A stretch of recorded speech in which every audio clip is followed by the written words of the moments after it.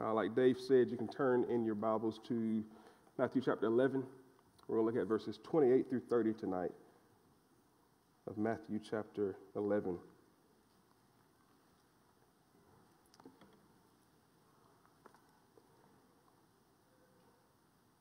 And while y'all are flipping there, I want to throw a question at you. Are you at rest in Christ? Are you at rest in Christ? I think a lot of you probably know this, but uh, Lauren and I dated uh, long distance for the entirety of our dating relationship. And so, what this meant for me is that if I wanted to see her on a regular basis, I had to spend all of my money on flights and rental cars. I can't tell you how many cars I rented during the time of us dating, but it, I rented a lot of cars. And initially, this would actually make me kind of uncomfortable. You know, you get into this vehicle, and, and I didn't want to be reckless and, and damage this expensive car that wasn't mine. But after the third or fourth time I had rented one, something changed. And I got real comfortable. See, I got so comfortable and so familiar with the people at Enterprise that I would go in and not just rent cars with confidence, but I would convince these people to give me a pickup truck, even though I was only old enough to rent small sedans and crossovers.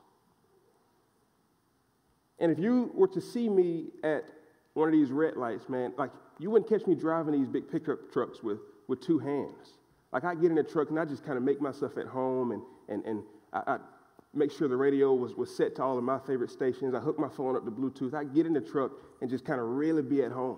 And if you saw me at the red light, there weren't two hands, but there was one wrist, not even, not even a single hand, but one wrist resting on the steering wheel. Like you saw me in this truck and you were going to know, however long I was renting it, like, oh, that's, that's Trell's truck. Like he owns that thing. Like he is at home, he is rested in that truck. Now, this was completely different than the first few times I rented. See, the first few times I was overly cautious. I didn't want anything bad to happen. But once I got comfortable, I could rest. I could rest as I rented the truck. And the reason I tell y'all about that is because I think some of us struggle to rest in our relationships with Christ. See, we treat our relationship with God as if we're first time renters instead of experienced renters who have a sense of security about ourselves.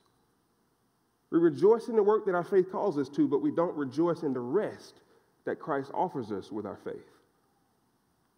And in tonight's passage, we're going to see that Christ tells us to both rest in Him and He tells us to work for Him, and He tells us why we can be secure when we do both of these things. Uh, so, two simple points that I want us to unpack. The first one, as Christians, we should go to Christ to find our rest. And then the second one, as Christians, we should go to Christ to find our work. We should go to Christ to find our rest, and we should also go to Christ to find our work. I'll read the, the verses for us now, then I want to ask for the Lord's help myself as we walk through the, the verses together. So, Matthew chapter 11, starting at verse 28, it reads Come to me, all of you who are weary and burdened, and I will give you rest. Take up my yoke and learn from me, because I am lowly and humble in heart, and you will find rest for your souls. For my yoke is easy and my burden is light. This is the word of the Lord. Join me for one more moment of prayer.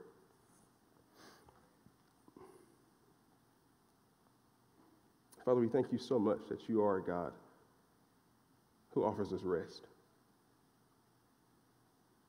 Oh, we thank you that in our relationships with you, we can be secure because of what you've accomplished in Christ. We thank you that in our shortcomings and our fallen nature, Christ comes to us being gentle and lowly in heart. God, I pray and ask that we rejoice in this. And rejoicing knowing that we have a Savior who doesn't call us to a life of toil and labor apart from Him, but He calls us to a life of restful work in which He joins us and labors on our behalf. I pray and ask that you'd make that clear through your word tonight.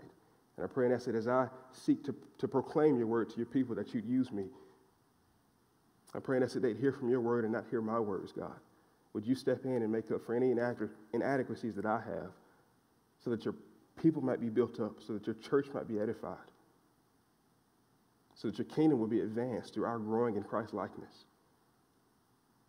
And so that we would all walk away resting in you and joyfully working for you. It's in the name of your Son we pray. Amen. Now, if you're prone towards legalism like I am, this first point that Jesus makes will probably leave you a little uncomfortable. But one thing about Jesus is that he often said things with the intent to make people uncomfortable. And I think we see some of that here in our passage. See, right before this passage, in the earlier parts of chapter 11, Jesus ridiculed the generation of people that he was talking to because they seemed discontent with whatever a prophet was to do when they came and prophesied. They didn't like John the Baptist because he fasted as he prophesied about Jesus. And now they don't like Jesus because he comes and he's in, enjoying food and drink as he prophesies about himself. So Jesus ridicules them because they seem to have problems with prophets no matter what the prophets do. And then he ridicules specific towns because he had performed miracles among these towns, and he performed miracles so that the, the people in these towns could see that he was the miraculous God in human flesh, but they didn't respond and repent like he commanded them to. They didn't repent because they were so busy trying to live and have others live by these crazy checklists that they formed as their own standards of righteousness. But in our passage, Jesus offers this invitation. It was an invitation to them, and now it's an invitation to us. He says, Come to me, and I'll give you rest. Now, by implication, when Jesus gives his invitation and tells us to come to him, not only are we labeling him as our place of destination, but we're also labeling something else as our place of departure, right? Like in order to go or, or to come somewhere, you got to leave where you're at to get there. And in this passage, I think Matthew wants us to see that Jesus invites the burdened to leave the burdening legalistic culture that the Pharisees had kind of set up and, and developed around them. And I want us to notice that this is both a command and an invitation. And Jesus actually gives us insight into how powerful he is with who he addresses as he gives his invitation and command. He says, Come to me, all of you who are weary and burdened, and I will give you rest.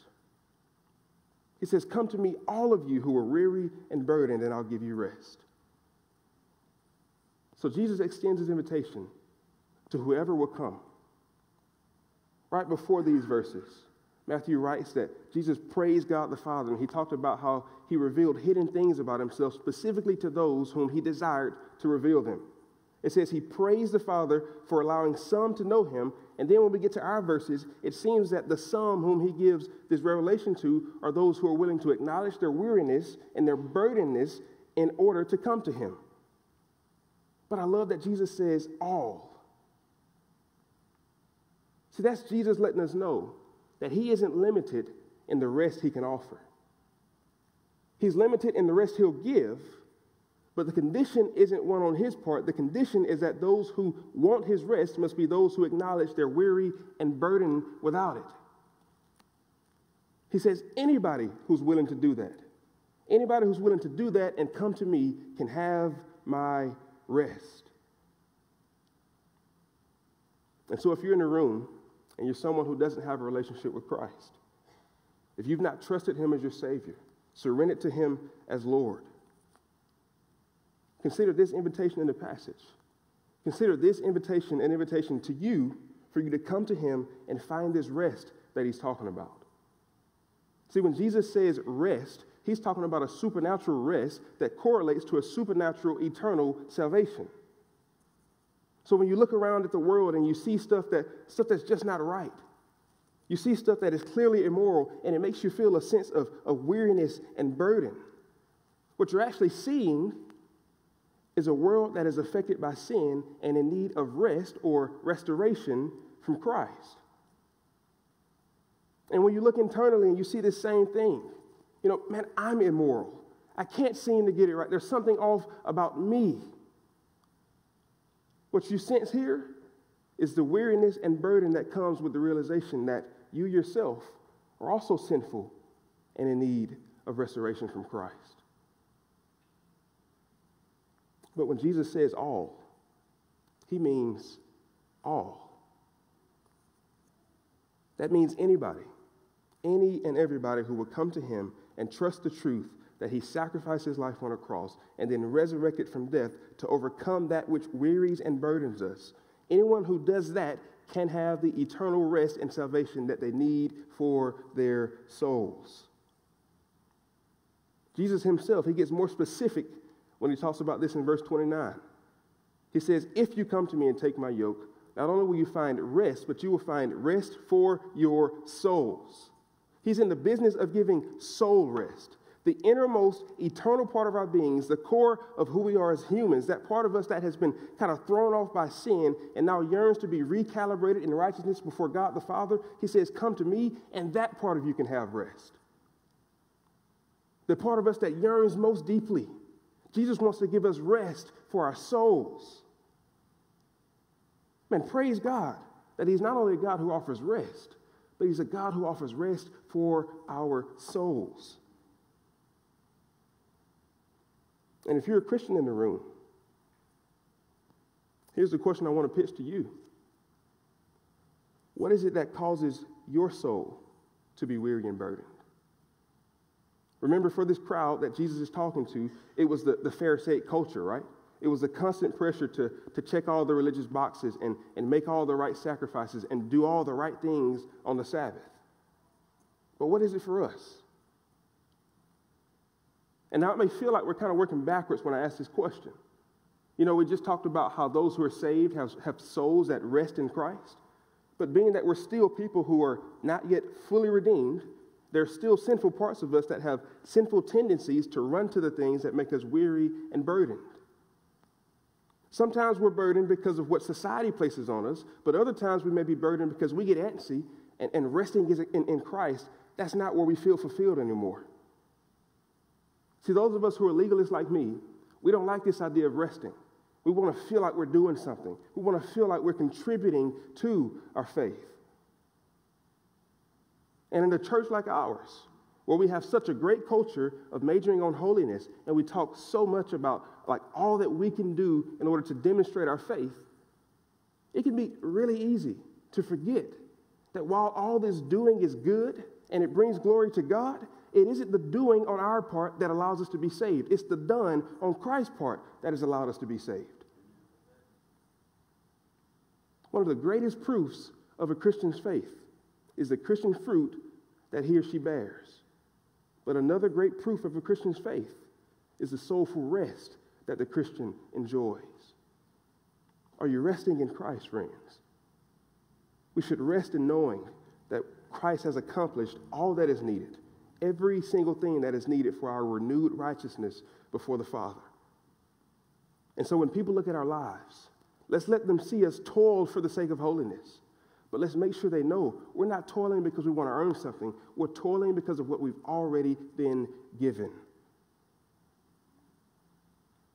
Some of us in the room are becoming parents for the first time. And we'll struggle to and, and, and be tempted to, to, to lose our rest in Christ with this, right? Am I being a good enough parent?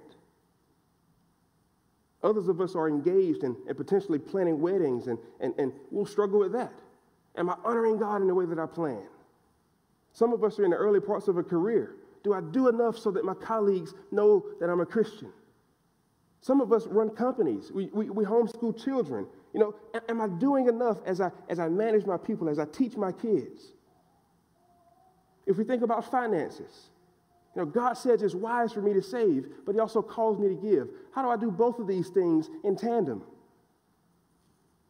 We're all doing something, right? And the thing is, we've got to realize that in everything we do, society is going to want to give us specific advice about exactly how we're supposed to do it.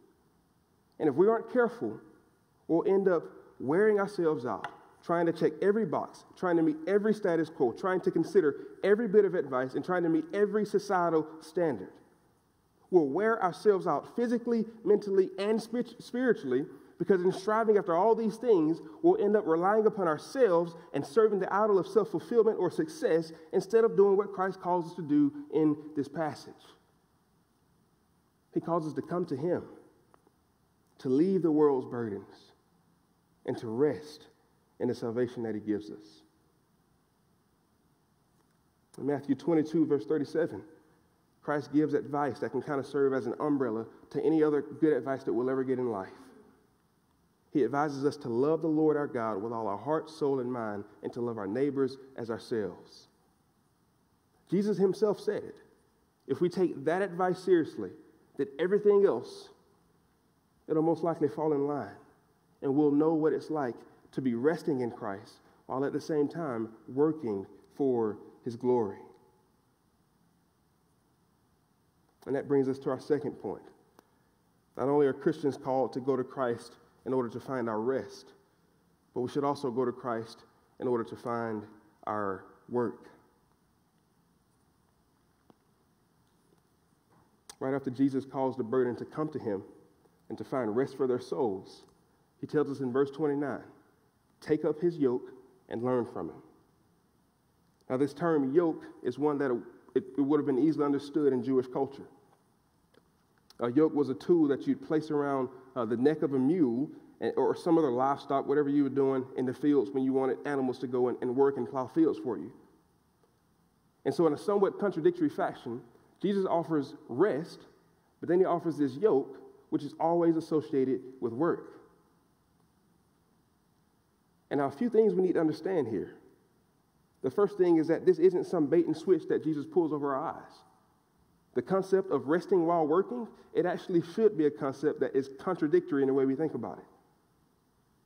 Except when you're talking about resting in Christ.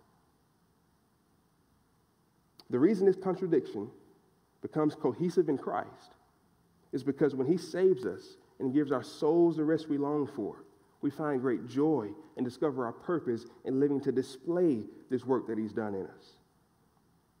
One of my go-to verses in Scripture, 2 Corinthians 5:17. It says, Therefore, if anyone is in Christ, he is a new creation. Uh, see, the old has passed away and the new has come. Now, the reason this verse says see is because uh, the new life that we have in Christ, it should actually be evident to those who observe our lives. So, if you're someone who overemphasizes the freedom you have in Christ, then there's a chance you might be neglecting the call for your faith to be visible. No, Scripture doesn't forbid the consumption of alcohol, but it does forbid us from overconsumption and drunkenness. I can't think of a verse that explicitly says we shouldn't curse, but we shouldn't have mouths like sailors, and we should be modest in the things that we say on social media. There should be a stark contrast between God's people and the rest of the world.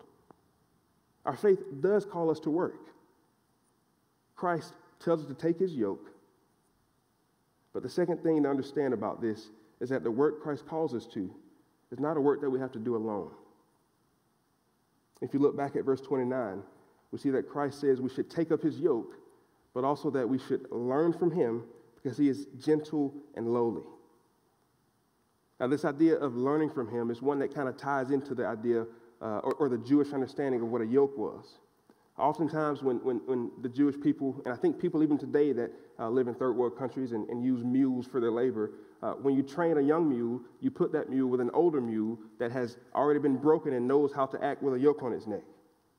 And the thought behind this is that the older mule will use his experience and teach the younger mule what it's like to work smarter instead of harder. Uh, Lauren and I have a lot of nephews and nieces, and uh, we spend a lot of time around um, just other children that have been in, our, been in our lives at different times.